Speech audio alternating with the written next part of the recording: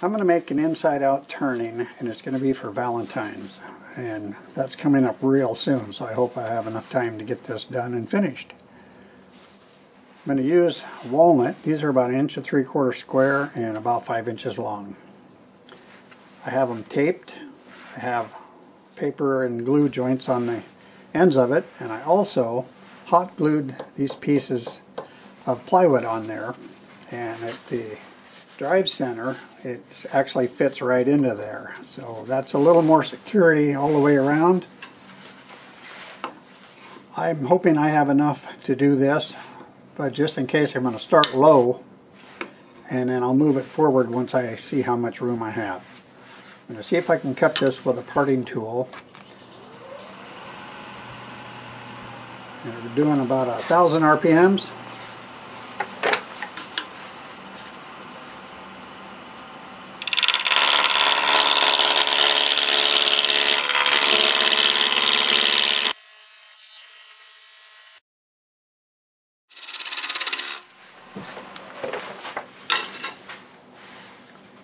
Alright, so that's a start. I'll cut some of this out to give myself a little relief and we'll go some more. I have a half inch bowl gouge.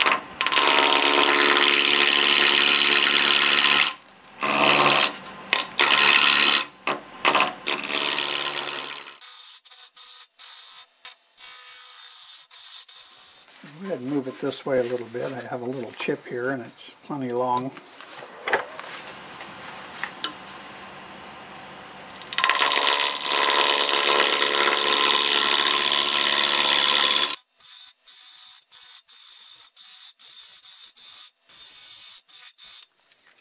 Okay, I'm going to try to get in here with my small hollowing tool now.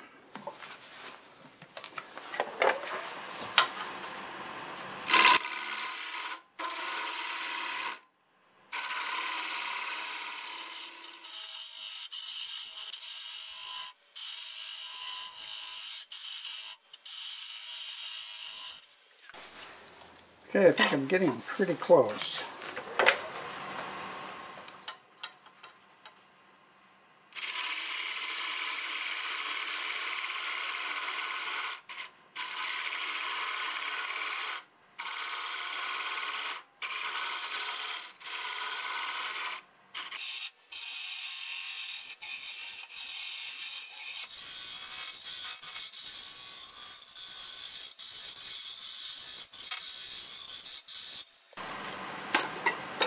I'm going to go ahead and take a little bit more off of this area.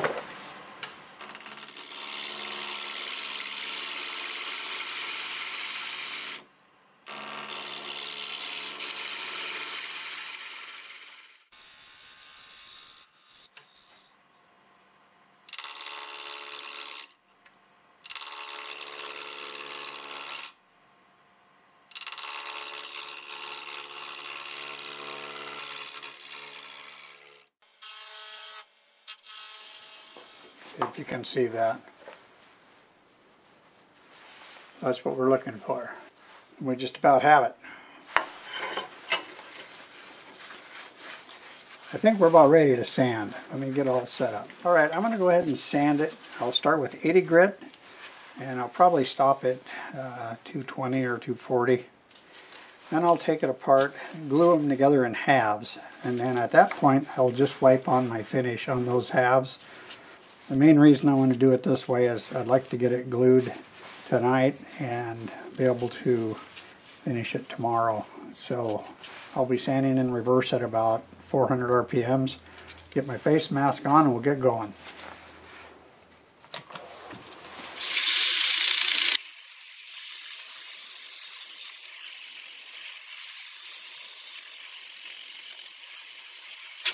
Okay, that's actually not going to be too hard probably dress these up like that. So I'll get these glued together and some finish on it and I'll see you when it's time to glue them together in one big block.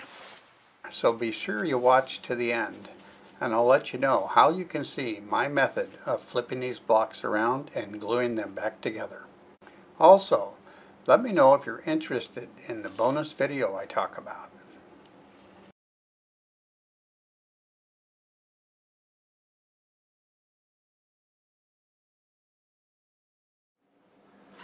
So I'll let that sit for a while. I'll put some clamps on it and tomorrow morning or afternoon I'll get it all finished up. Okay, so what I'll do now is put it back between centers.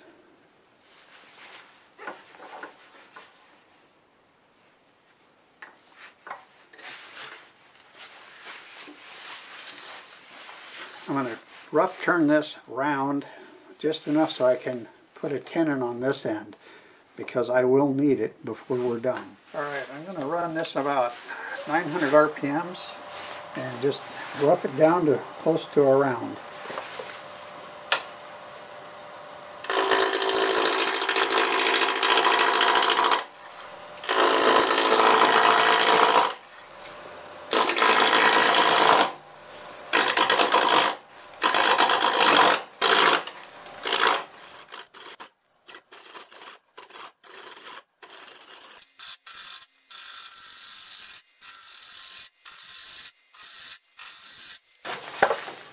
Alright, I want to get it on the chuck as soon as I can. Okay, I put a mark on that side about the diameter that I need. Use the parting tool and get it down there and then check it.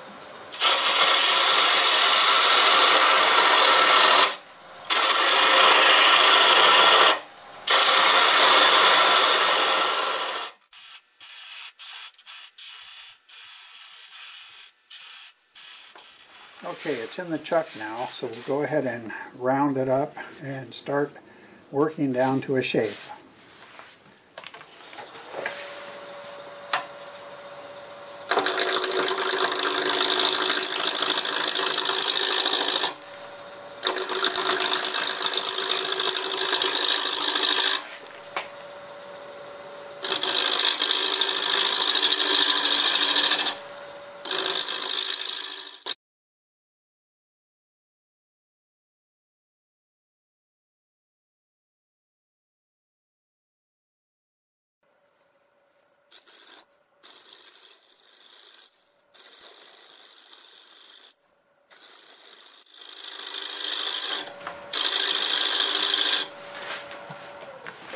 Switch to a spindle gouge here.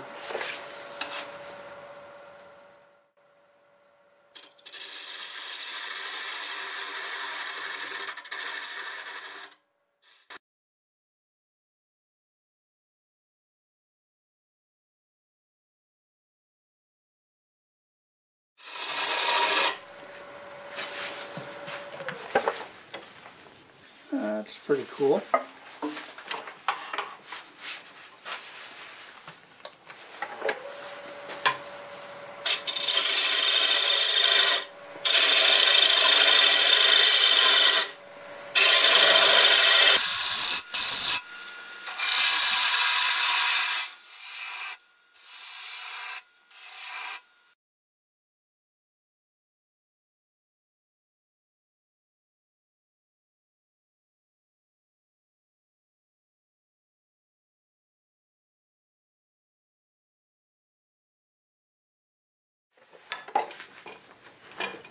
Okay, I think that's getting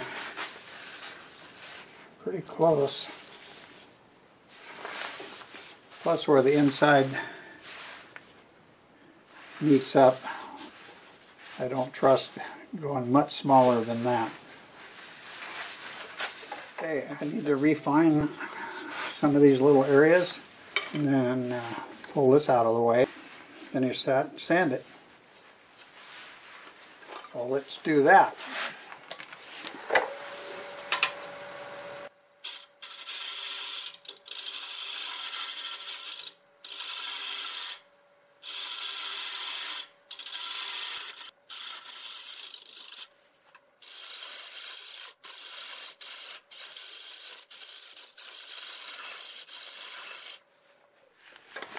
Okay, now I'm going to clean up this area where I had the live center.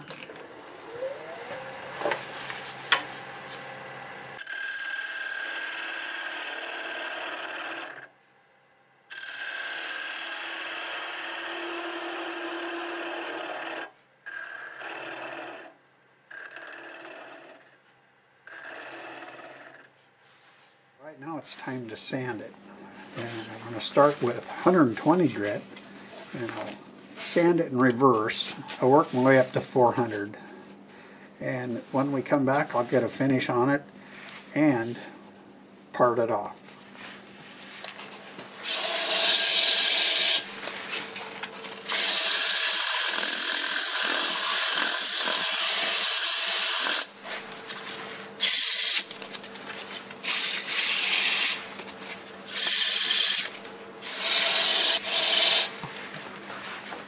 And then I'll go over it like this after doing it under power. So I'll see you pretty soon and we'll probably spray some lacquer on it. Okay, it's time to spray some finish on it. And I'm going to use what's been my favorite finish for years. It's Deft. I'm not connected with them. I don't get anything for saying that. I've just been using Deft since I was in high school. So you kind of get addicted to something. So we're just going to turn it pretty slow in low range and spray it on.